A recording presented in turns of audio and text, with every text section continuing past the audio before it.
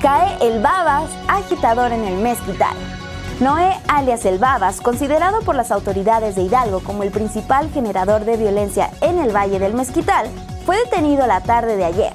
El sujeto fue localizado en Ixmiquilpan y su aprehensión se llevó a cabo sin que se ejerciera violencia, tras la expedición de una orden de arresto en su contra. Según el reporte policiaco, el 30 de abril, elementos de la Policía de Investigación fueron interceptados por un grupo de sujetos a bordo de camionetas, de las que descendieron alrededor de 10 hombres, presuntamente dirigidos por el Babas, quienes comenzaron a disparar contra los uniformados. Por ello, la Fiscalía Estatal comenzó una carpeta de investigación en el Ministerio Público del Fuero Común, de la que no precisó número y solicitó una orden de aprehensión contra el presunto criminal y agitador y una para otra persona que también se encuentra detenida.